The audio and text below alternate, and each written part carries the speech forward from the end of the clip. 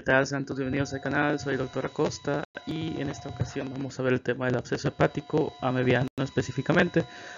Eh, había un apodo que un profesor hacía de esta enfermedad que lo quise poner acá y decía que era la enfermedad del bañil.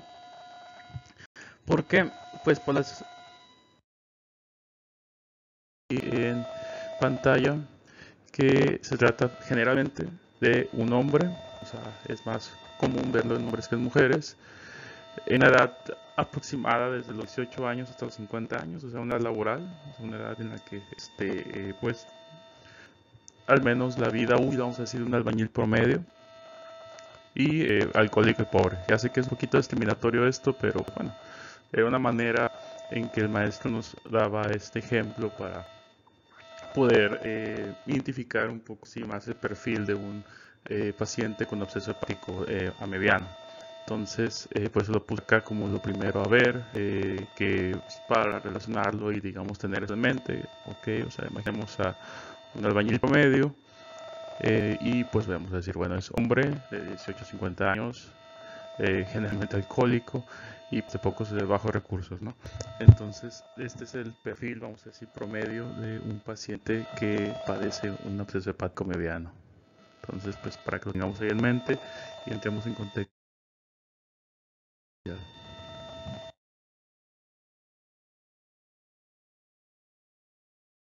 Y acá lo que vemos es pues un tipo de resumen acerca del tema. Particularmente eh, voy a usar el puntero todo deriva de lo que es conocido como la entamueva histolítica. Entonces, eh, bueno, aquí está lo que es una muestra de cómo es esta eh, entidad y es 7 a 10 veces más común entre los hombres adultos que entre cualquier otro grupo demográfico. En los factores de riesgo tenemos que definitivamente vivir y viajar en áreas endémicas, el contacto sexual o proximidad a heces fecales, o sea, pues esto eh, nos incluye por supuesto lo que es sexo anal eh, o digamos eh, promiscuidad este, en personas homosexuales digo pues, por discriminar pero pues bueno o sea si tenemos ahí sexo definitivamente más común en relaciones lo que es nutrición, enfermedades crónicas, inmunodeficiencia y el uso, yo diría prolongado, o sea, no uso, digamos, eh, en periodos cortos, pero sí, digamos, eh, que son prolongados con corticosteroides, pues sí nos pueden provocar ahí eh, un factor de riesgo importante para esta enfermedad. Otros posibles factores de riesgo pues son el VIH y el homosexual, porque sí tenemos ahí hasta un 70% de los casos que el paciente pues, es homosexual. Entonces pues les comentaba que no es una discriminación propiamente, sino que pues así es, o sea, esta enfermedad pues sí tiene un poquito más de recurrencia entre eh, pacientes que tienen esta eh, pues modo de vida no ahora zonas endémicas pues tenemos lo que es la India y Bangladesh está también por supuesto México Sud y Centroamérica. Entonces por lo general los viajeros de área endémica empiezan a infestar esta enfermedad dentro de lo que son un periodo de 8 hasta 20 semanas aunque hay casos que hasta son años años después de que fueron al área y se manifiesta la enfermedad. Entonces, sí tiene un periodo ahí de incubación muy, muy, muy largo. Pero bueno, ¿qué es lo que ocurre acá? Bueno, ocurre que la infección hepática se logra por lo que es el ascenso de lo que es la amiba a través del sistema venoso portal. Se deposita en lo que es el hígado y por el hígado va subiendo por lo que es el venoso portal y pues va haciendo todas sus manifestaciones. De una a dos semanas que vamos a tener, pues generalmente fiebre, pasando desde 38.5 a 39.5 y dolor en el que es el cuarto superior derecho. Referido a epigastrio, eh, lo que es la zona pectoral derecha, pero pues por lo general va a estar pues más eh, ubicado hacia la derecha del paciente. Tenemos ahí que tenemos, podemos encontrar ictericia, casos, así que no es tampoco lo más característico, pero pues sí lo podemos ver. Dolor pleurítico, diarrea recurrente, eh, los de patomegalia, 50%. Esto la diarrea es en uno de cada tres pacientes, entonces sí es, eh, pues, al menos sí se ve en una gran parte de los pacientes, aunque tampoco es en todos. Tos, sudoraciones, malestar, pérdida de peso y lo que es la anorexia o hiporexia, o sea que uno come nada o come poquito. La leucocitosis la vemos en menos de 10.000 sin eosinofilia y la fosfatasa alcalina vamos a encontrar alta, hasta un 80% de los casos. Eh, complicaciones, pues esto es hasta un 7%, un poco más de 7%, que la complicación más usual es por la ruptura del absceso. Esta ruptura del absceso que va a causar, va a causar una peritonitis y puede a su vez causar una trombosis venosa hepática y también una trombosis de la vena cava inferior. Entonces, eh, pues no es cualquier cosa, ¿no? Sí es muy importante detectarlo y eh, pues tratarlo cuando tengamos ahí este, el caso en nuestro consultorio ahí en el hospital. El diagnóstico, pues tenemos ahí la epidemiología, mala clínica, o sea, simplemente es con eso. Ya si queremos irnos más allá, pues tendremos que ver las al microscopio. Eh, tenemos la opción del ultrasonido o la TAC, la resonancia magnética. Aquí podemos verlo en el ultrasonido como eh, se observa, ¿no? Aquí se observa el absceso muy claramente. Y en el TAC también lo vemos con claridad aquí. ¿sí? O sea, realmente ya que se hace el estudio de imagen, pues no es tampoco tan difícil de identificarlo. O sea, realmente eh, pues se nota bastante la diferencia entre lo que son las tonalidades. Y eh, ya que lo tenemos ahí en el estudio, digamos, ya que lo tenemos en sospecha y ya que lo vemos ahí en la imagen, pues digamos que pues por lo general, a menos que sea muy pequeño, pues si tiene un tamaño considerable, pues es bastante obvio, ¿no? Ahora, serología, bueno, 99% de los pacientes desarrollan anticuerpos, 97% de anticuerpos son detectables al momento de la presentación y tenemos serología negativa que puede ser en los primeros 7 días, pero pasados los 7 días ya la serología tiene que ser sí o sí positiva. También tenemos la opción de la aspiración con ultrasonido TAC, ¿sí? que esto es con lo que son desechos de proteínas, eh, podemos aspirar ahí un líquido marrón similar a pasta de anchoa, ¿sí? se encuentran ahí también entre fosfoitos hasta 20% de los casos y lo podemos el absceso, ¿sí? no es necesario irnos directamente a lo que es la parte central, simplemente la parte periférica. Ahí podemos una muestra y debemos encontrar algunas de estas características. Y finalmente el tratamiento, ¿cómo lo hacemos? Pues lo hacemos o una de dos. A base de sol sería la dosis de 500 hasta 150 miligramos por vía oral, tres veces al día en un periodo de 7 a 10 días. O también podemos utilizar la paramomicina, que sería 25 a 30 miligramos por kilo por día en tres dosis para lo que serían 7 días. Entonces, esto sería, digamos, el tratamiento estándar y eh, hay que hacer énfasis en que esto es el tratamiento médico. Hay ciertas características en las que el tratamiento médico no va a ser lo adecuado, sino que habría que hacer un drenaje. Pero más adelante voy a decir qué características debe tener el paciente para pues, tener a consideración el drenaje. O sea, no es en todos los casos, es en casos muy particulares, pero eh, pues si tenemos esa este tipo de complicaciones, pues entonces ahí la opción sí va a ser quirúrgica, no va a ser a base de tratamiento médico.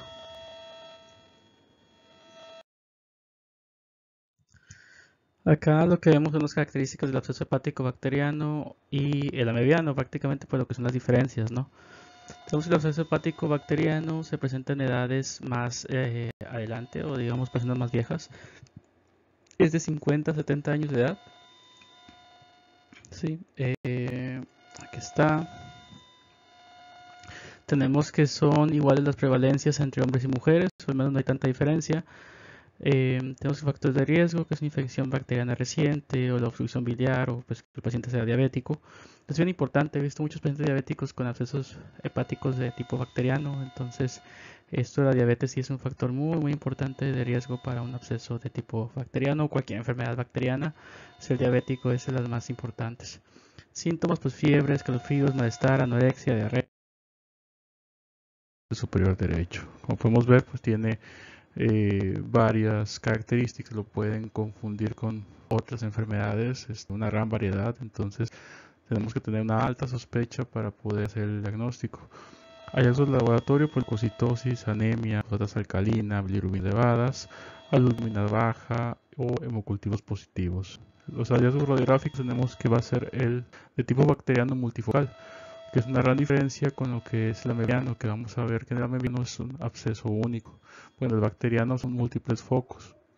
El diagnóstico se hace por aspirado, que es positivo en 70-80% de los casos, y el tratamiento va a ser por lo general drenaje percutáneo y antibióticos. ¿Por qué? Pues por la misma razón de que es multifocal. Como es multifocal y son varios puntos, entonces eh, es por eso que se prefiere drenaje percutáneo, para poder eh, tener una terapia óptima para todos los focos y los antibióticos pues que también nos ayuda a, hacer esto más efectivamente o de manera más eh, eh, digamos práctica o más eficiente mejor dicho. Y ahora el absceso hepático amebiano como había dicho de 18 a 50 años principalmente hombres más que mujeres. Lo más importante de acá, como se ha dicho, la enfermedad del albañil, el consumo de alcohol eh, y también el, sexo oral y anal, o sea que esto es más particularmente en parejas de tipo homosexual eh, masculinas, el aparato enema contaminado, viajar o vivir en una endémica. Acá tenemos lo que son los síntomas, fiebre, dolor en cuerpo superior derecho, dolor de presión superficial, anorexia, pérdida de peso y muy raramente colitis. O ven, este, no son tan diferentes características, es por características no es tan distintivo, es más por las características eh, tanto en lo que es la etiología como también en, el tipo de, de que tenemos acá leucocitosis, pero no vamos a también BSG elevado y serología positiva. Igualmente los laboratorios no distinguen mucho, donde están las distinciones es más pues, que son los hallazgos radiográficos. Eh, como pueden ver, hay un radiográfico aquí en la tomografía, tenemos aquí el absceso bacteriano que son múltiples focos y aquí el absceso amebiano que es un absceso único, ¿sí? que se va a encontrar por lo general pues, en el lóbulo derecho. Y va a estar forzado eh, ya con lo que es el contraste, ¿verdad? Que es lo que vemos aquí, por estar realizado ahí también por lo que es el alrededor de la mancha. Ahora, el diagnóstico es aspirado, eh, aunque es raro ver ahí trofosoditos, mientras que el bacteriano sí es más común. Puede descartar, por supuesto, infección bacteriana y ya pues daríamos ahí lo que son las serologías positivas y factores de riesgo. Y como se había comentado, el tratamiento acá va a ser a base de metronidazol, o paramomicina, también yodoquinol, pero eh, también entre las terapias está el drenaje percutáneo, solamente es en ciertos casos en donde se vamos a utilizar este tipo de terapia, no va a ser lo más usual, al menos hablando de abscesos amebianos. Aquí vemos lo que son las condiciones para drenar absceso hepático mediano, solamente si hay algún tipo de eh, ruptura inminente, o sea, características que te hacen pensar que pudiera haber una ruptura eh, ahí que no se va a poder evitar. Eh, que vez que les había dicho que en el lóbulo derecho es donde se llegan a observar con más frecuencia. Bueno, si lo observamos el lóbulo izquierdo, tenemos que drenar el absceso porque hay más consecuencias si está en el lado izquierdo que en el lado derecho más factores de riesgo para una complicación.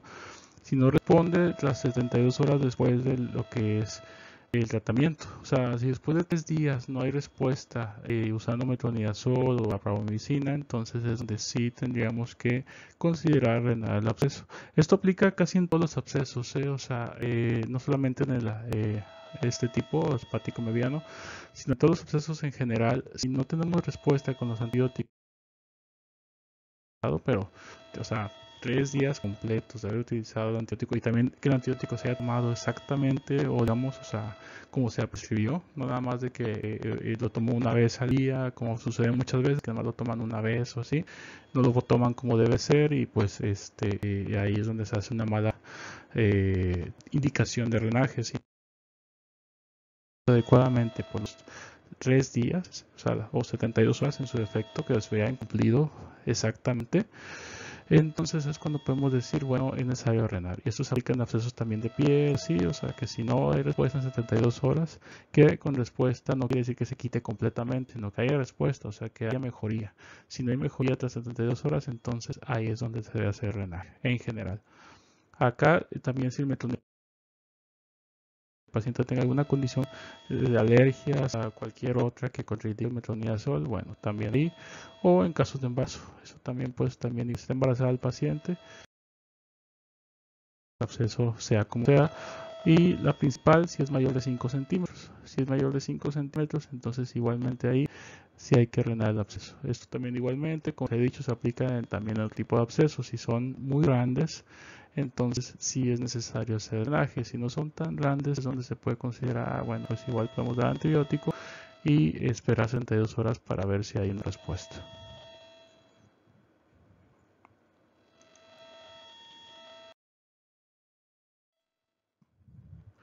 Y aquí lo estamos viendo, miren, otros criterios que son un poquito más formales, los tenemos acá.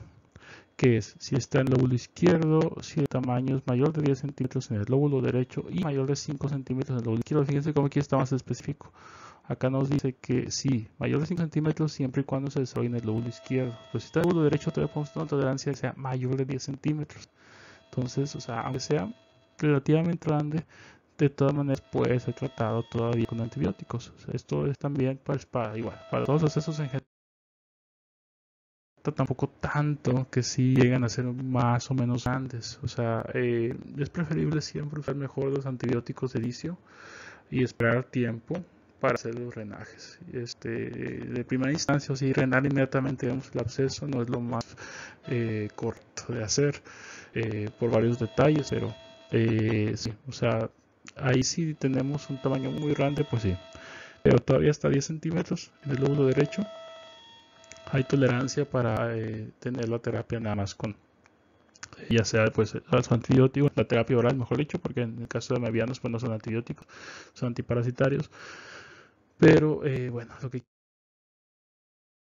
medicamentos, o sea, terapia sin necesidad de intervenciones ahí este, invasivas pues es preferible hacer ya la invasión inmediatamente o terapias de tipo pues laje o semiquirúrgicas. Eh, entonces pues por eso. O sea tamaño mayor de 10 centímetros el derecho tamaño mayor de 5 centímetros el izquierdo. O que el volumen sea muy grande mayor de 500 mililitros. Pero cuando el volumen no es tan grande generalmente estos criterios también cumplen. O sea cuando es mayor de 500 mililitros pues también el tamaño es de mayor generalmente de 10 centímetros o en el lóbulo izquierdo, el lóbulo izquierdo ahí sí no, o sea, mayor de 5 centímetros puede ser que no sea de volumen mayor de 500 mililitros, pero ya se había comentado, en el lóbulo izquierdo se tiende más a complicaciones, entonces por eso aquí el tamaño es eh, de menor eh, centímetros. También igual deterioro clínico, pues el tratamiento, obviamente, o sea que no haya respuesta de tratamiento después de 72 horas o que simplemente haya un deterioro ahí eh, evidente, a pesar de que se está dando un tratamiento inicial, pues ahí también entonces tendríamos que hacer drenaje. Igualmente, pues puede ser ahí el, drenaje reciente a la cápsula o diafragma y es generalmente cuando tenemos un proceso único donde vamos a hacer el drenaje, al menos hablando de los estáticos a medianos.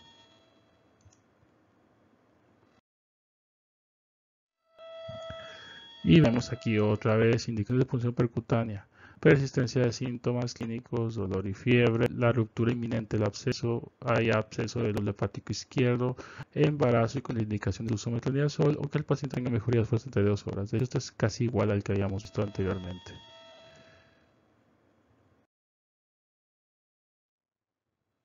Y acá vemos que vamos a utilizar para el tratamiento. Bueno, el agente tisular. ¿Qué es esto del agente tisular? Pues de 500 miligramos a 750 vía oral que esto se mantiene por lo que son 7 días o también podemos utilizar lo que es como opción del tinidazol ahora seguido de agente luminal que esto es de primera línea pues la paromimicina puede ser primero la terapia con metronidazol o tinidazol y después continuar con paromimicina 25 30 miligramos por kilo. Igualmente por un periodo promedio de 7 días.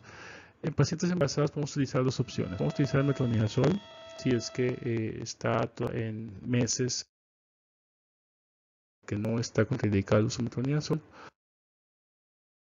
En los primeros meses de embarazo, entonces podemos utilizar lo que es la cloroquina más paromicina. ¿sí? Paciente embarazada, estas son las opciones, no hay que olvidarlas. Metronidazol, si es que se puede utilizar, si no se puede utilizar por algún motivo, bueno, entonces cloroquina más paromicina. Estas serían las indicaciones.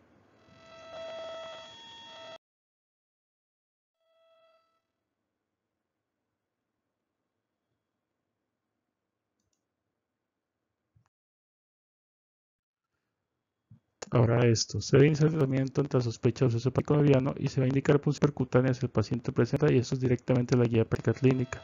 Entonces, como pueden ver, es lo mismo que les estaba diciendo en estas imágenes previas. Existencia de síntomas clínicas como dolor y fiebre, datos de mente absceso, del lóbulo izquierdo, mujeres embarazadas y que tienen complicaciones de metronidazol, complicaciones pleuropulmonares, que esto es lo que les comentaba de que cuando está en el lado izquierdo se tiende más a que se den este tipo de complicaciones de pleuropulmonares, que el paciente tenga mejoría después de 72 horas de inicio manejo. Esto digo que es aquí y es también en cualquier tipo de absceso es casi lo mismo, de que después de dos horas no hay respuesta, ah bueno, sea, si no se inició manejo, aunque sean 72 horas las que ya tenga el paciente con absceso, no importa. O sea, ahí es, o sea, el paciente no tenga mejoría, pues en tratamiento evidentemente no va a tener mejoría. Esa, y el detalle es que ya iniciado el tratamiento y ya pasaron 72 horas, bueno, ahí sí, entonces hay que hacer drenaje. Entonces, el drenaje radiológicamente guiado va a ser probado, eh, bueno, aprobado mejor dicho, ser simple y efectivo y es considerado pues estándar de oro con rangos de éxito entre 80 y hasta 87%. Entonces, el drenaje radiológico, o, bueno, guiado radiológicamente, mejor dicho, es la opción.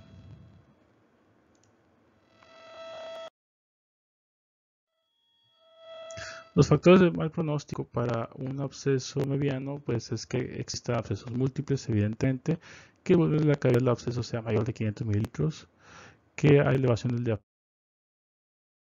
una radiografía de tórax, que existe celopatía o que la bilirrubina esté en un valor mayor de 3.5 miligramos por decilitro, que la hemoglobina esté en menos de 8 gramos por decilitro, que la albúmina esté en menos de 2 gramos por decilitro o que el paciente pues, sea diabético. Esto ya de entrada, eh, así de entrada que nos diga el paciente soy diabético, ya es algo que es factor de pronóstico y eso es aquí en casi todas las enfermedades, eh, o sea, este es un factor de riesgo ahí de entrada y un factor de riesgo para mal pronóstico un factor de riesgo para la enfermedad, para que se, que se complique la enfermedad. el paciente diabético es un paciente muy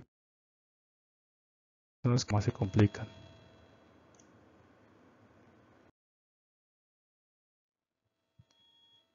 Ya acá lo que estamos viendo pues es el drama de flujo. Tenemos ahí que generalmente va a ser masculino, de 20 a 40 años, proveniente de una zona endémica, con prácticas sexuales aipirosas, tiene dolor en hipocondrio derecho, hepatomegalia dolorosa y fiebre. Bueno, ese es el caso del paciente, un paciente promedio.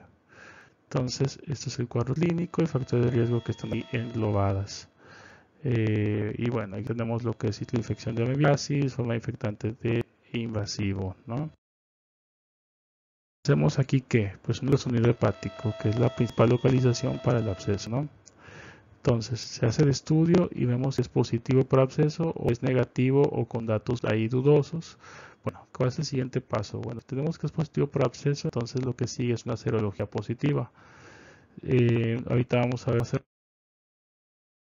la eh, positividad en la serología o si es que no tenemos ahí el resultado positivo, pues qué es lo que hay que hacer.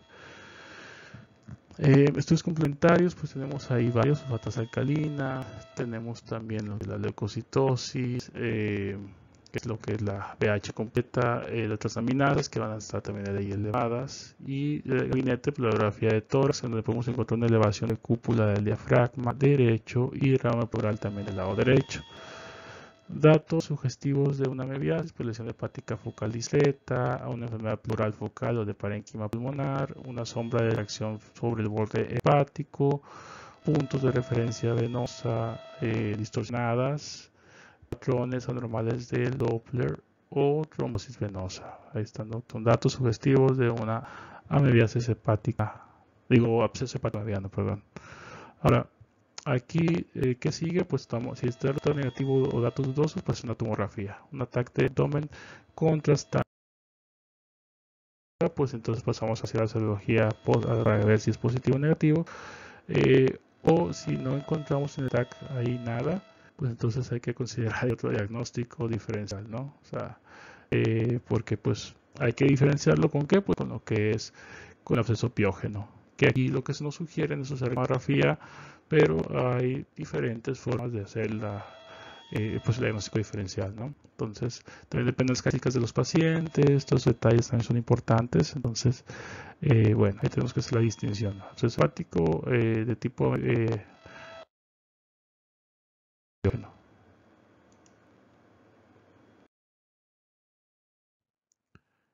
Aquí lo tenemos. Bueno, serología, ¿es positiva o no? Bueno, si es positiva, entonces, ¿qué vamos a hacer? Pues el tratamiento de primera línea. Tratamiento con metronidazol de preferencia. Ya vemos si hay mejoría clínica en 72 horas. Si la hay, pues entonces de acuerdo a la evolución clínica hay que dar tratamientos para evitar estado de portador sano y pues darlo de alta.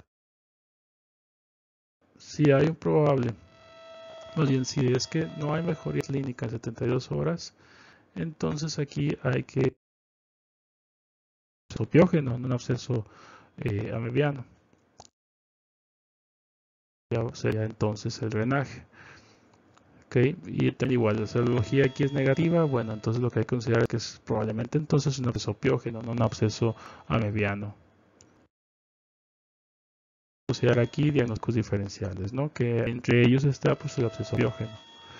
Y aquí pues lo que es la terapia, el sol que es de 1500 miligramos por día cada 8 eh, horas por un periodo de 7 a 10 días intravenoso o puede ser 30 a 50 miligramos por kilo por día o también puede ser tinidazol de 200 miligramos por día cada 24 horas por 7 a 10 días eh, lo que es el eh, bueno bueno este casi no se usa entonces igual no no hay que tenerlo también. Bueno, se puede usar.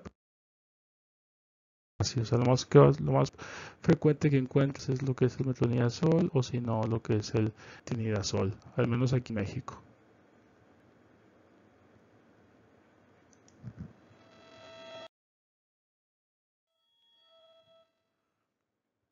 Ahora, datos clave, pues que tenemos la mediano, la enfermedad histolítica, una persona de 20 a 40 años, o al menos hasta los 50 todavía, que es edad activa de, o edad laboral, es un hombre eh, que pues ahí tienen un, lo que es una localización un punto único en el lóbulo derecho, el diagnóstico generalmente se hace con un ultrasonido, eh, al menos es la elección, eh, eh, se puede se lo que es este drenaje con líquido de pasta anchoas y va a ser generalmente de temperatura fría mientras que el piógeno va a ser de temperatura caliente. Lo que se recomienda para hacer el diagnóstico aquí en los ultrasonidos es más bien un TAC, que son focos múltiples, y es por eso, porque cuando tenemos el es sencillo, pero encontrar focos múltiples no es tan fácil, además de que se nos puede escapar alguno. Por eso es que el ataque en el biógeno es, es lo mejor, porque si tenemos varios puntos, pues podemos identificarlos bien y en el tag de cuántos son y así que no se nos escape ninguno. Porque en ultrasonido, si lo hacemos así, podemos ver ahí varios que se identifican según la técnica que hay usado el que hace el ultrasonido, pero también se pueden escapar muchos otros puntos o muchos otros focos. Entonces, si son focos múltiples, pues sin duda mejor es la contrastada y el tratamiento es a base metronidazol en ambos de hecho, tanto en la histolítica como en la E. coli. Entonces también es importante que el tratamiento ah, eh, igualmente para los dos casos es el mismo. Entonces, eh, ¿para qué nos sirve la distinción? Pues nos sirve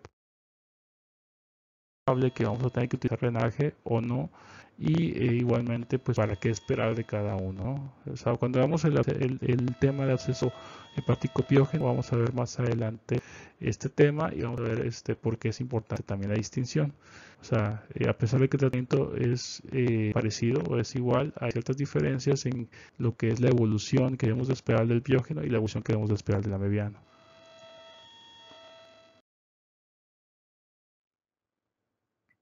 Aquí en el caso hepático mediano, la guía de práctica clínica que nos menciona, pues nos menciona que vamos a tener un estudio serológico específico, estudio serológico por hemaglutinación indirecta o si no por contra inmunoelectroforesis.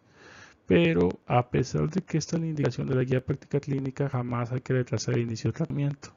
O sea, si ya tenemos la sospecha, ya tenemos puede dejar ahí, este, vamos a decir, pendiente el estudio serológico pero el tratamiento se debe iniciar, no retrasar a decir es que porque nos falta esto, no, esto está mal. O sea, aunque nos falte esto, si ya tenemos la sospecha, ya tenemos ahí lo que es la imagen, entonces hay que iniciar el tratamiento en ese momento.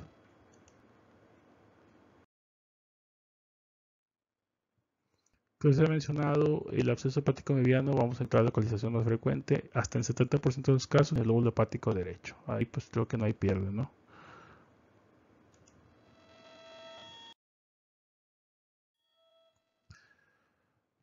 Un absceso hepático mediano no complicado. Esto genera necrosis hepatocito, en los hepatitos y microabscesos con líquido en aspecto de pasta de anchoas. La etiología centromovida estolítica, como ya hemos visto, que es un protozoario.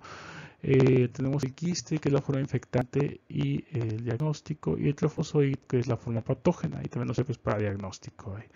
si está en la forma infectante, vamos a encontrar los quistes, y, a partir de los quistes podemos hacer el diagnóstico o encontrar los trofozoitos, que esto ya cuando está la forma patógena y también pues, sirve para hacer el diagnóstico de amebiasis. Hombre de 20 a 40 años, alcohólico y de bajos recursos. Recuerden, enfermedad del albañil.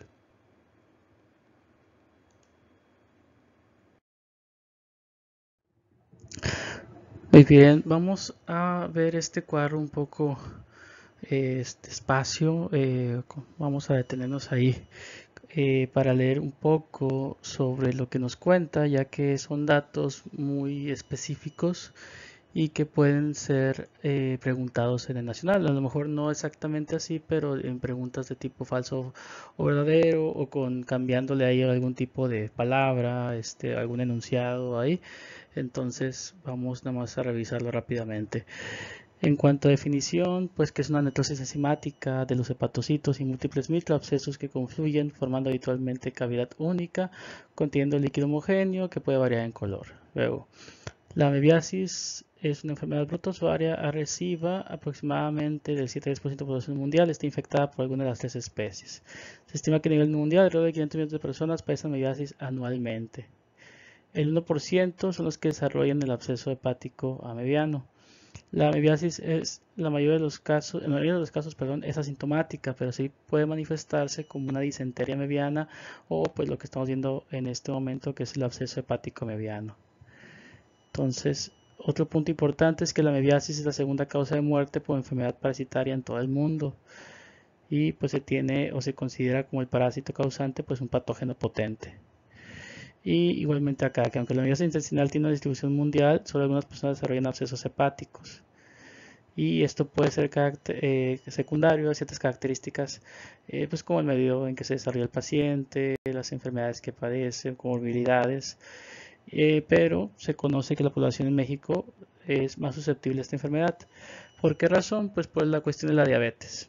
¿sí? O sea, México es el país con más diabetes en el mundo, creo, o segundo, segundo lugar, si no creo que es primero o segundo lugar, no estoy seguro, eh, tendría que checarlo, pero eh, es sin duda de los países con más diabéticos en todo el mundo, entonces a causa de eso, pues esta esta cuestión de que eh, en esta población diabética pues es más susceptible a abscesos, entonces bueno, además quería enfocarme un poquito en eso, voy a pasar a lo siguiente, ¿no?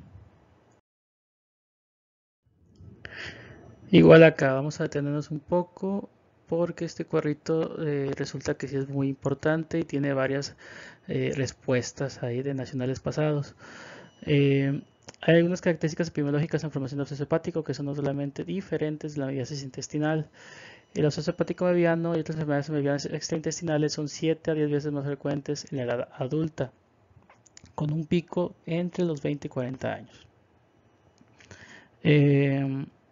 A pesar que mebiasis intestinal no es común en los viajeros de corto plazo, los abscesos a medianos de hígado pueden ocurrir después de exposiciones eh, por viajes de periodos cortos. Entonces, aguas con eso. Em, tradicionalmente, el tratamiento de los abscesos hepáticos medianos pues, está circunscrito a lo que son fármacos y mirazoles, como metronidazol, con un 90% de éxito. Entonces, pues ahí tenemos que eh, pues como les había comentado, metronidazol es de las terapias este, pues, más clásicas y que también tienen su mayor tasa de, éxito para este tipo de eh, infecciones. Y aquí estamos viendo lo que son factores de riesgo. Los portadores sanos de eh, histolítica tratan las heces quistes, que se transmiten principalmente a través del agua o alimentos contaminados. Los quistes son resistentes al ácido gástrico. Ojo, los trofosoditos son liberados y colonizan el ciego. Entonces es la manera en que la infección se inicia cuando estos trifosfoditos se den a la mucosa subyacente. Eh, la afectación hepática se produce tras la invasión de histolítica en donde pues en las vénulas mesentéricas y a continuación es donde las amebas se introducen pues en la circulación portal y viajan pues hasta el hígado donde pues hacen todo su desmarre, ¿no? Ahora, la cirrosis hepática aviana es más frecuente en las áreas tropicales como la India, el sur y el oeste de África. Esto lo pasé porque lo habíamos visto. Factor de riesgo, pues ya, ya le he dicho, enfermedad del albañil, ¿no? Sexo masculino, siete veces más frecuente, de tercera a quinta década de la vida, alcohólico, eh, también puede ser con padecimientos oncológicos, prácticas homosexuales, eh, paciente con inmunosupresión o con terapia de corticosteroides. Entonces, el oso hepático aviano lo vemos más frecuentemente en áreas tropicales, pero también lo podemos ver en los residentes de estados fronterizos de México. ¿ok? O sea, Tijuana, Nuevo León, Tamaulipas, etcétera, ¿no? Entonces, bueno, es lo que quería enfocarme en cuanto a lo que viene en estas imágenes.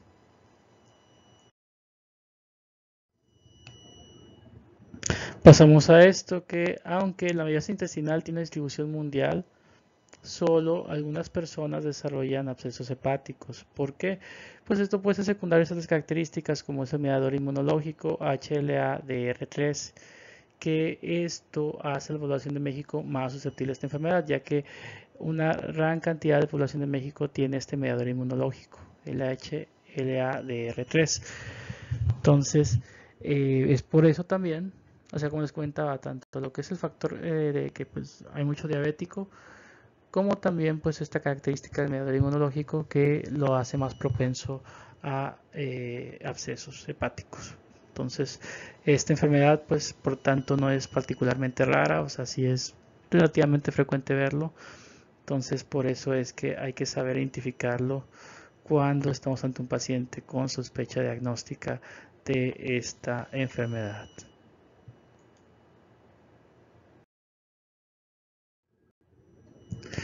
Esto, aunque parece algo obvio, es muy importante enfocarlo a los pacientes que las verduras se deben limpiar con jabón y sumergirlas en ácido acético o vinagre, porque muchas veces esto no lo hacen. Me ha tocado muchos pacientes que no hacen este paso durante 15 minutos para poder erradicar las formas del quiste.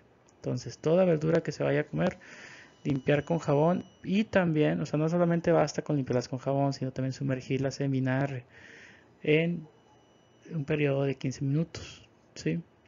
Entonces este paso es bien importante porque muchas veces se lo saltan y es el causante pues de que se eh, digamos sea más frecuente este tipo de infecciones en ciertas poblaciones.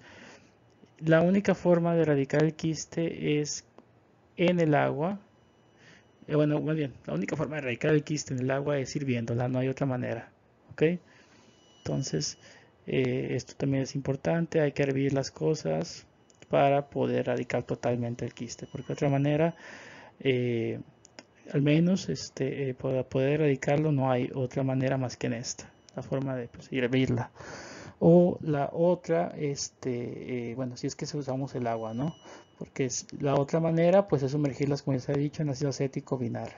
Pero si lo que tienes ahí es agua, Nada más, pues la única manera de erradicarlo con agua es hirviéndola, no hay otra forma. Y las prácticas sexuales que hay que hacer, pues hay que evitar la contaminación fecal oral. O sea, lo del beso negro y todo eso, pues eh, no, o si se va a hacer, que sea con absoluta limpieza. Esto es pues que el, que vaya a este ay, no sé cómo decirlo, pero este, pues sí, o sea, quien le vayan a besar ahí, pues tiene que hacerse un enema previo eh, para poder tener toda esa área limpia y que de esa manera pues no se eh, preste a, algún tipo de infección ahí este, de este tipo o de otros, porque hay muchas infecciones que se pueden dar por esta contaminación fecal oral. Eh, igualmente, evitar que consuma alimentos o fruta que no estén desinfectadas debidamente, obviamente, y considerar que los hielos y muchos tipos de agua embotelladas en países en vías de desarrollo no están debidamente desinfectados. Esto incluye también los hielos que eh, se dan a veces en bares o este, en áreas este, eh, públicas, ¿sí? o sea, de esparcimiento. Bueno, muchas veces el hielo que se utiliza ahí no está desinfectado o digamos que es hielo de barra y ese hielo de barra muchas veces es arrastrado así por el piso este, por largas distancias hasta que llega digamos, a, donde tienen las cervezas, o si o sea, el hielo que se pone ahí en las cervezas, nunca lo vayan a tomar, porque ese hielo es hielo de barra. Pero hielo de barras, o de barras esas que, que, que, arrastran, y este, y pues con ese arrastre, pues va arrastrando también igual un montón de bacterias. Entonces tengan cuidado con esos hielos, no los tomen, evítelos lo más posible, eh, porque aunque haga mucho calor y lo que sea, este, ese hielo este, eh, tiene una alta posibilidad de estar ahí con algún tipo de, bacteria o vaya a ver tú qué y que puedas enfermarte por tomar ese hielo. Entonces cuidado con los hielos también, muy importante.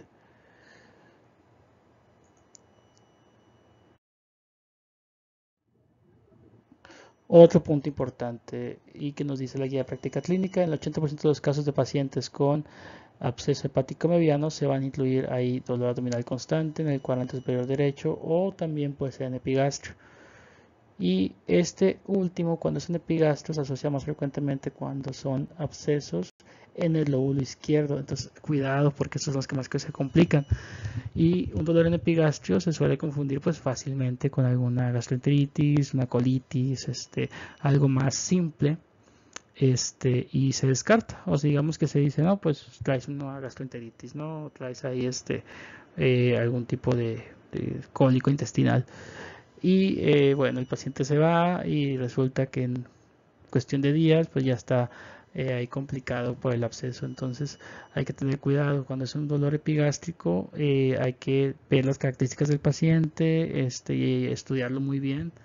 Si es posible, de ser posible, hacer estudios de laboratorio para poder confirmar que todo esté correcto, que el perfil hepático salga bien y pues de esa manera descartar algún tipo, bueno y también igual hacerle lo que es una, un estudio de imagen.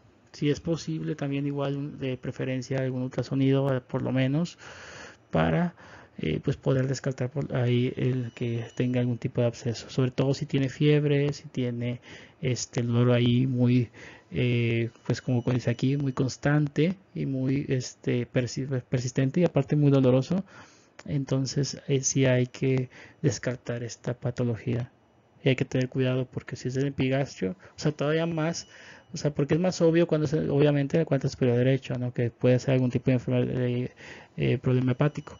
Pero en epigastrio, eh, pues muchas veces se, se, deja de lado y resulta que es la parte más, es la variante más, más peligrosa, que es la del lóbulo izquierdo. Entonces, eh, bueno, en este contexto hay que tener, hay que tener mucho cuidado.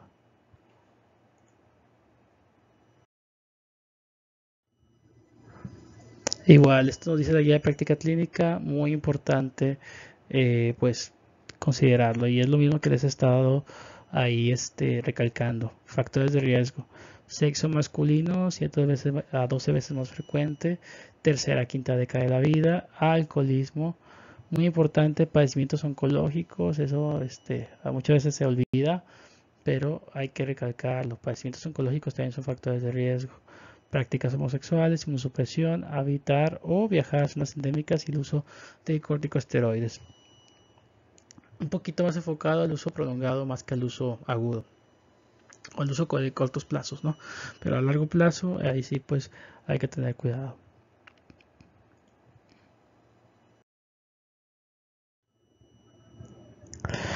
Eh, bueno, la clasificación ecográfica, aquí no me voy a clavar tanto, pero es importante que lo tengamos a consideración.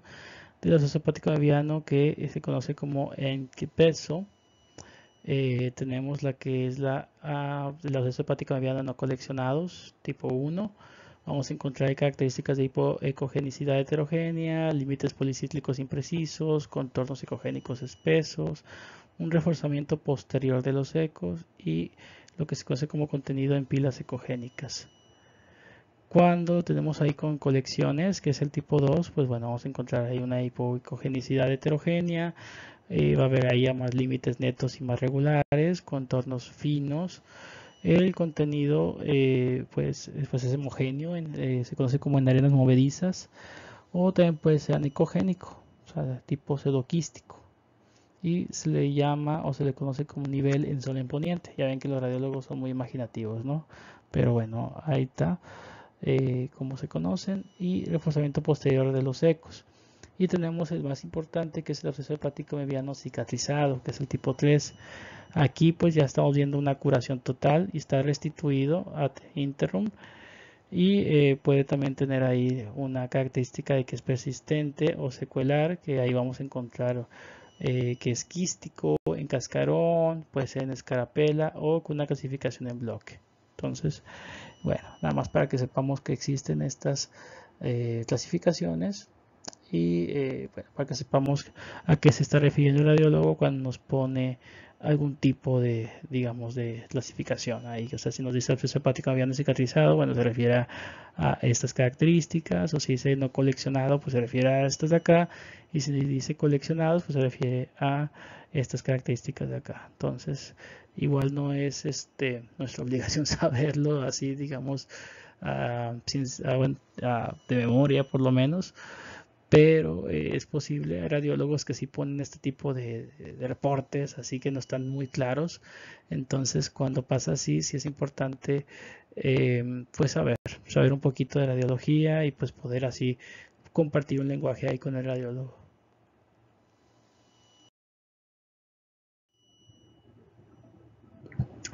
Esto pues ya lo hemos visto, ¿no? O sea, la metronidazol debe usarse como fármaco de primera línea a una dosis de 30 a 50 miligramos por kilo por día si es de vía oral. Si vamos a usar vía endovenosa, pues entonces sería 7.5 miligramos por kilo por dosis. Pero, de ser posible, preferentemente utilizar la vía oral. El tiempo de administración tendría que ser de 7 hasta 10 días.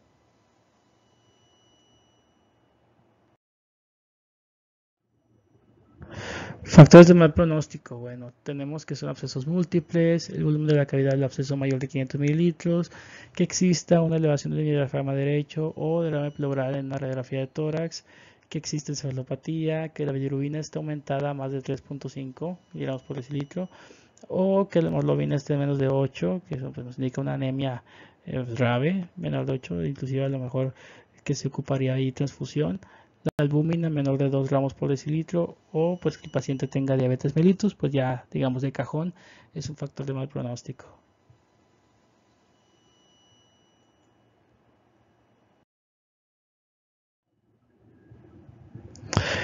El absceso hepático mediano pues es más frecuente en áreas tropicales como la India, el sur y el este de África, lejano oriente, América del Sur y América Central en los Estados Unidos eh, y residentes de estados fronterizos con México. La infección asintomática distólica tiene prevalencia entre hombres y mujeres, pero pues como ya se había comentado, hombres son más propensos que las mujeres de tener mebiasis en una razón de 3, 2, 1. Bueno, 3.2 a 1, perdón. Eh, tenemos que también la disenteria, eh, más tendencia a tener disenteria, absceso hepático, perforación de colon, peritonitis, apendicitis o ameboma. Y pues que la hepática afecta principalmente a hombres que están entre los 18 a 50 años y muy rara vez a niños. Sí pasa, sí, sí hemos visto abscesos hepáticos en niños, pero es muy, muy, muy, pero muy raro eh, eh, encontrar. O sea, pasa que te, una vez cada tres años, por decirlo a veces, una cantidad. Eh, pero sí, o sea, sí pasa, pero es extremadamente raro.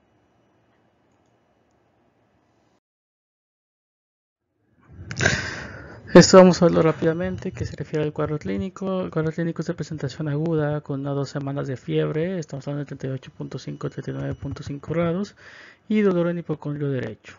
Generalmente, aunque también puede ser en epigastrio, como ya hemos visto. La diarrea en forma concurrente va a estar presente en menos de un tercio de los pacientes, así que no esperen encontrarlo tan frecuentemente. Algunos pacientes refieren haber tenido disenteria los meses anteriores. Para los viajeros que regresan de una zona endémica, la presentación por lo general ocurre dentro de 8 hasta 20 semanas. Entonces vamos a poner una mediana de 12 semanas. Los pacientes tienen una presentación más crónica y estamos hablando de meses con fiebre, pérdida de peso y dolor abdominal. Entonces, ojo, si viene un paciente con ustedes que dice ya tengo meses con pérdida de peso, fiebre, abdominal, ok, estoy de acuerdo que hay muchos diagnósticos que pueden entrar ahí, pero sí es importante entre ellos considerar al absceso hepático como una opción. Y otro punto importante es que en esos pacientes sí vamos a encontrar generalmente hepatomegalia, a diferencia de los otros pacientes que son más, digamos, este, menos característicos, los que son así de áreas endémicas o viajeros o así, si tienen esta eh, cuadro un poquito más clásico, más con más características así distintivas y entre ellas pues tenemos ahí una que te marca un poquito más obviamente que se trata de un problema hepático que es la hepatomegalia, ¿no? Entonces, bueno, ahí te, te dan tipo de ayuda este, a que te puedas orientar más fácilmente.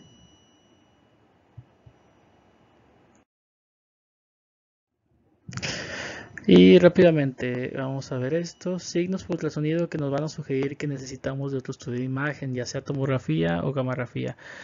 Esto va a ser si encontramos lesión hepática focal discreta o una enfermedad en el espacio pleural o en el parenquima pulmonar, o sea, que em, esté más allá del hígado y se vaya hasta lo que es el espacio pleural o afectación pues, pues sí, del pulmón, ya sea parénquima o espacio pleural. Bueno, ya de ahí es, ¿sabes qué? Vamos a ocupar otro estudio de imagen. Que exista sombra en cuña con refracción, un flujo venoso distorsionado o que esté ausente, patrones anormales del Doppler, que esto pues ha relacionado con esto del flujo distorsionado y la trombosis venosa. Si hay alguno de estos, pues es preferible entonces en estos casos pues tomar una tomografía o en su defecto una gamografía. En la gamografía con galio los abscesos medianos los vamos a ver fríos con un borde brillante, mientras que los piógenos van a ser calientes. Entonces recordemos, los medianos son fríos, los piógenos son calientes. Esto ya lo hemos visto, pero de nuevo rápidamente porque ya me cansé de estar calcando esto, criterios para drenaje percutáneo de un absceso hepático y tiene que ser más de un criterio, o sea, si nada más hay uno, este, eh, no es suficiente, tiene que tener por lo menos dos, dos criterios para poder decir, ah, ok, este paciente requiere drenaje. Y estos van a ser tamaño mayor de 10 centímetros, un volumen mayor de 500 mililitros, esto eh, se incluye como, o sea, si tiene un tamaño mayor de 10 centímetros y un volumen mayor de 500 mililitros, ya se considera que son dos. ¿sí? O sea, que son dos características que tienen ahí o dos criterios, entonces ya ahí podemos considerar el drenaje. Entonces, o sea, puede ser uno u otro o este, eh, pueden ser los dos, que los dos estén juntos. Bueno, si los dos están juntos, pues ya se consideran como si fueran dos criterios. Pero bueno, Regresamos aquí, tamaño mayor de 10 centímetros o también volumen mayor de 500 mililitros, que se encuentre en el lóbulo izquierdo y que esté adyacente a cápsula o diafragma, o también que esté adyacente ahí a lo que es este, eh, la pleura o lo que es el parénquima pulmonar, pues también, en esos casos también entra como un criterio para drenaje. Entonces, tamaño mayor de 10 centímetros o volumen mayor de 500 mililitros que se encuentre en el lóbulo izquierdo o que esté adyacente a cápsula o diafragma.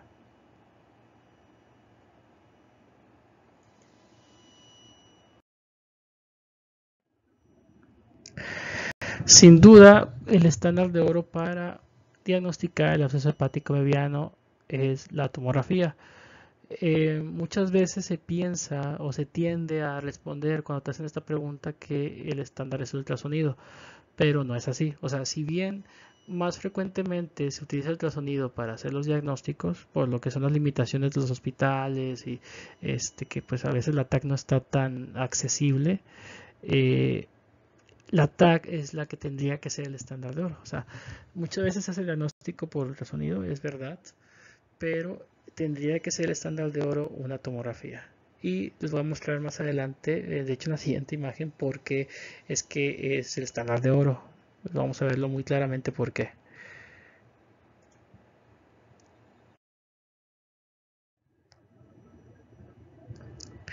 Y es por esto, porque vamos a ver el absceso muy obviamente o muy claramente la localización y si son múltiples pues podemos ver ahí localizaciones múltiples también cosa que en el ultrasonido se nos puede escapar algún tipo de eh, absceso. Si son múltiples puesto a que pues no podemos ver un panorama amplio sino que vamos viendo así como que partes pequeñas ahí este eh, del hígado sí este entonces es más eh, factible que se puedan perder de repente abscesos a renar en ultrasonido, cosa que no sucede en un TAC, porque el TAC te da una visión amplia y te permite pues ver exactamente cuántos abscesos hay localizados. Y como pueden ver se ve muy claramente. Inclusive si usamos contraste pues se ve todavía más claramente porque se realza. Entonces por eso es que la tomografía es el estándar de oro. Aquí estamos viendo lo que es pues un absceso hepático mediano. Recordemos que se trata de pacientes que tienen fiebre que tienen más de dos semanas con esto eh, dolor en hipocondrio derecho, hepatomegalia dolorosa, en algunas ocasiones diarrea. También recordemos que está eh, involucrada la entomología histolítica, que la forma infectante son los quistes, recordemos, punto muy importante, forma infectante son los quistes, no se les vaya a olvidar. La localización más frecuente va a ser en el lóbulo derecho en un 75% de los casos. Los laboratorios, que vamos a encontrar laboratorios, creo que lo hemos visto, si no lo hemos visto se lo repito son neutrofilia, ¿sí? de cajón, una leucocitosis moderada, la fosfatasa alcalina elevada, sobre todo cuando son padecimientos ya más crónicos, y el AST sobre ALT elevado. ¿sí?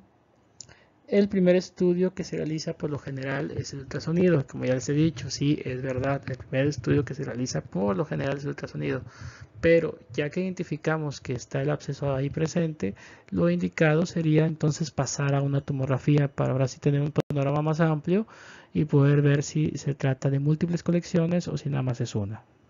Entonces, esa es la recomendación. O sea, primero haces un ultrasonido y después si identificas el absceso lo más correcto sería hacer ahora sí una tomografía para poder tener ahí el panorama amplio y poder ver pues exactamente cuántos abscesos son.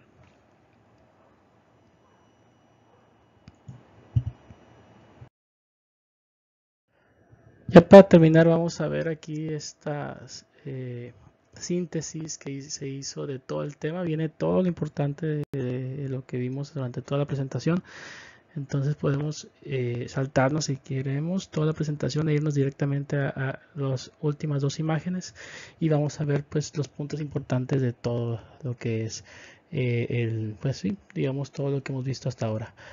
Tenemos que es absceso hepático mediano entonces pues de entrada la definición como siempre Infección en tejido hepático causado por entomografía histolítica caracterizado por la acumulación de pus en aspecto de pasta de anchoas. Todo lo que está en colores es, lo importante. ¿eh? Entonces ahí anótenlo o memorícenlo, lo que sea que sea más efectivo para ustedes, pues eh, para fines del examen ahí aprenderlo, recordarlo, pues ahí háganlo el lóbulo único y derecho de hasta un 74% de los pacientes. La fase de trofozoito, recordemos que es la fase infectante.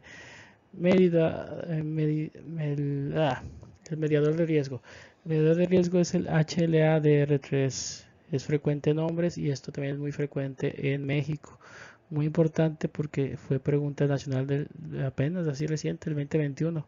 Entonces, recordemos, mediador de riesgo, HLA-DR3. Ok, HLA-DR3. Ahí hay que anotarlo como unas 50 veces para que no se les vaya a olvidar. Factor de riesgo o factor de riesgo, sexo masculino, 7 a 12 veces más frecuente, tercera quinta década de la vida, alcohólico, padecimientos oncológicos, prácticas homosexuales. La clínica, aproximadamente el 50% de los casos hay hepatomegalia dolorosa e ictericia hasta en un 10% de los pacientes. La fiebre es de un inicio abrupto hasta 38 grados centígrados, vespertina de una a dos semanas de evolución. La em, participación de la cara diafragmática del hígado eh, provoca un dolor pleural de lado derecho o que es referido a, hombro. Entonces, si tenemos ahí este, eh, una bueno, que se involucre lo que es la cara diafragmática del hígado, o sea, que esté afectada, pues esto va a provocar ahí un dolor que va a ser pleural en el lado derecho. O también puede ser referido entonces hacia el hombro. Em, ok. Y de hecho creo que aquí está la presentación. Mira, aquí está lo que es el absceso. Y si está este, eh, cercano a la cara diafragmática del hígado, que es por acá, pues entonces es lo que provoca estas molestias. Eh, ahora, el examen físico en aproximadamente 50% de los casos revela hepatomegalia y sensibilidad en el área hepática y la ictericia clínica se produce en menos de 10% de los pacientes, así que no es tan frecuente observarlo. Los auxiliares, pues tenemos ahí eh, otros hallazgos específicos comunes que incluyen una radiografía de tórax, que podemos ver que es anormal porque hay una elevación del hemidiafragma. O también podemos encontrar derrame pleural en el lado derecho. Asimismo, también podemos encontrar proteinuria. Y bueno, aquí está la radiografía. Y eh, bueno, aquí lo que sería la elevación del hemidiafragma. ¿no? Ahora, para lo que es el diagnóstico de forma inicial, recordemos, solamente de forma inicial se suele utilizar un ultrasonido o se realiza, mejor dicho, ultrasonido abdominal. Ahí vamos a encontrar una lesión hipoecoica redondeada u ovalada con un flujo venoso distorsionado. Para la clasificación vamos a utilizar, bueno, más bien el radiólogo va a utilizar lo que es la clasificación de en qué beso. ¿Ok?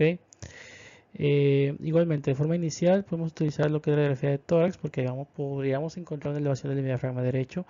Hay síntomas respiratorios, sobre todo arregados, entonces aquí cambia a la radiografía hacer el estudio inicial, no el, ultrasonido. O sea, si es el, em, digamos, los síntomas abdominales, los principales, entonces ahí ese inicio sería el ultrasonido como el estudio a pedir. Pero si lo que tenemos es ahí, eh, aparte de lo que son los síntomas eh, gastrointestinales, o bueno, en este caso, pues un poquito más enfocado a lo que es eh, alguna enfermedad hepática, eh, aparte de esto hay síntomas respiratorios, entonces el estudio inicial tendría que ser preferentemente la biografía. ¿Ok? Entonces cambia, o sea, síntomas respiratorios, pues mejor la biografía como inicial. Nada más son síntomas ahí abdominales, bueno, entonces ahí el ultrasonido como primer estudio. Eh, igualmente, ah, tenemos ahí lo que es la malutinación indirecta, que es el método serológico más sensible para confirmar un absceso hepático mediano y de hecho es el gol estándar hablando de métodos serológicos. Ojo, métodos serológicos. ¿ok? O sea, la imagen es otro rollo, pero métodos serológicos más sensible es la hemalutinación indirecta. ¿ok?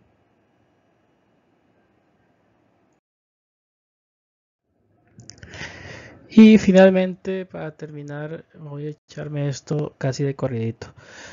Como auxiliares también tenemos el estudio de imagen de elección, como ya se ha comentado, el estudio de imagen de elección, el gol estándar sería la tomografía, que se usa en caso de duda al ultrasonido o que haya abscesos ahí muy pequeños que nos puede dar la idea de que tal vez existan ahí abscesos múltiples. La resolución radiológica es en dos años. Ok, eh, ok, bueno, X. La gamografía del de, absceso hepático de tipo mediano es de aspecto frío, mientras que la del el piógeno va a ser de aspecto caliente. ¿ok? Aquí tenemos pues lo que es la tomografía y vemos ahí los múltiples abscesos como se ven. Están, bueno, aquí hay una colección y ahí podemos ver otros ahí este, en desarrollo, ¿no? Pero bueno, el más obvio creo que es este de acá. Eh, ok, pasamos a lo que es el tratamiento. El tratamiento es a base de metronidazol, 500 a 750 miligramos vía oral por un periodo de 7 hasta 10 días. Eh, tenemos una tasa de curación del 95% en un periodo de 72 hasta 96 horas. Ojo, no un periodo de 72 hasta 96 horas, no es inmediato, porque luego los pacientes quieren que todo, eh, que la mejoría sea inmediata. Bueno, hay que decirles que no va a ser así.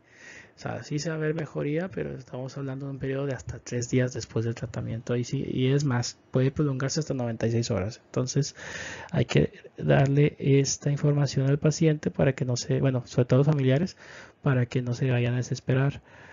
Si existiera intolerancia metronidazol, entonces lo que tenemos que utilizar sería tinidazol y ornidazol como opciones. Si de plano hay una, intolerancia a lo que son los imidazoles, entonces eh, lo indicado sería utilizar la nitoxamida. ¿ok? La nitazoxamida. ¿ok? Sé que se pronuncia un poco raro, pero bueno. Nitazoxamida. Ahora, el tratamiento de primera elección es fundamentalmente médico, ¿sí? O sea, no se utiliza la función percutánea al menos de inicio o así como algo de rutina, no es así, o sea, es de primera línea y siempre preferentemente es utilizar el tratamiento médico con la administración de metronidazol durante un periodo de 7 a 10 días en las dosis que vimos acá. Eh, dejando lo que es la parotomía solo y exclusivamente para casos en los que se sospeche una ruptura del absceso a la cavidad peritoneal, o sea que exista posibilidad de peritonitis, o ya sea que no se encuentren los recursos para una punción percutánea o cirugía laparoscópica. ¿Ok? Solamente en esos casos específicos vamos entonces a utilizar la laparotomía.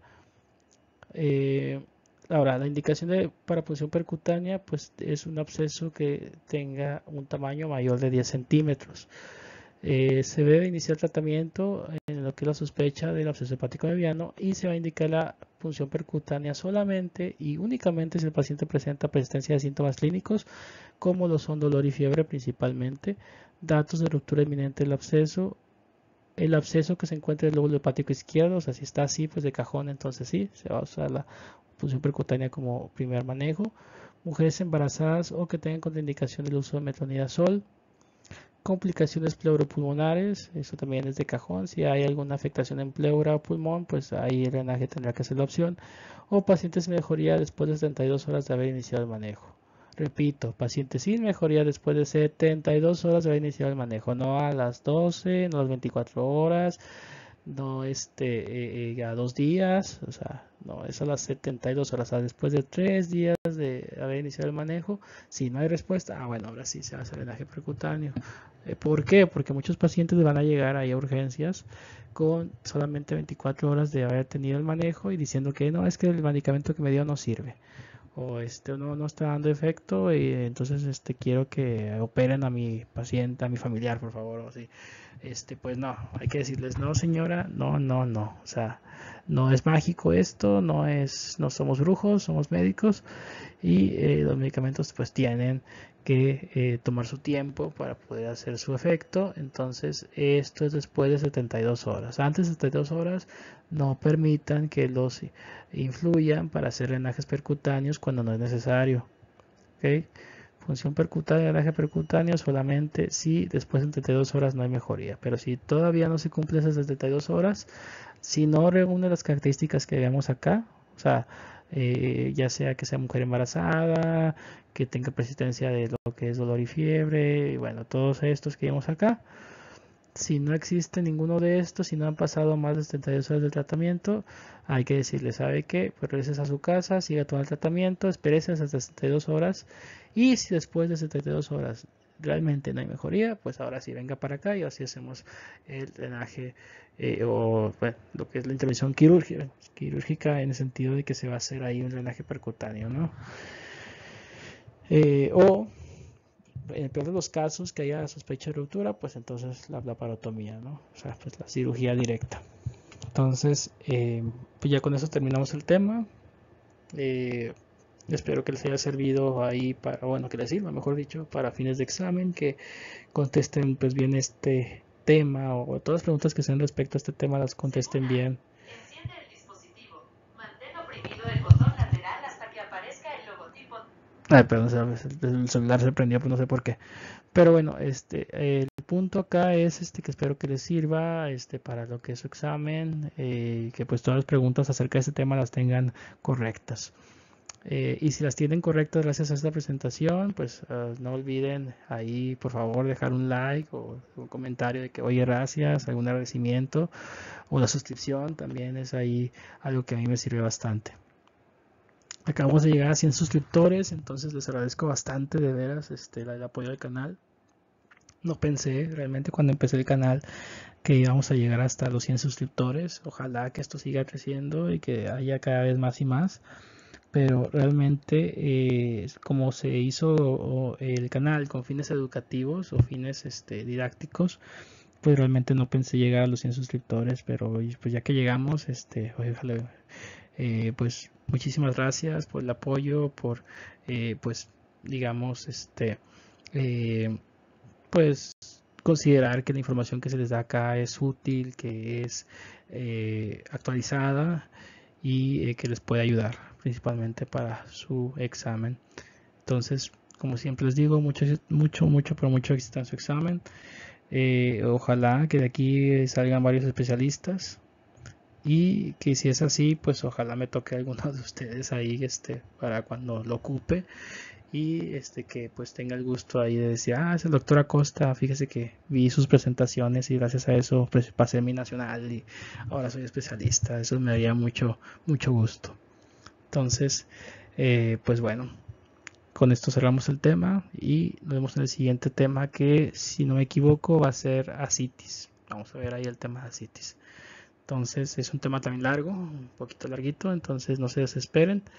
Eh, tanto en, no se desesperen en que si se tarda en salir el tema, o sea, que pues cuando son largos es donde más me tardo en, publicarlos, ni tampoco se desesperen ya que esté la presentación ahí en cómo se va el paso, o sea, pues sí nos vamos a veces un poco lento, pero eh, es necesario pues para poder entender un poquito mejor eh, los temas que un poco más complicados. Entonces, asitis no es particularmente complicado, pero sí es un tema un poquito largo. Entonces, esperen un video, pues, un poco largo del tema. Entonces, pues con eso sirve el tema absceso hepático mediano para que no se nos haga de noche.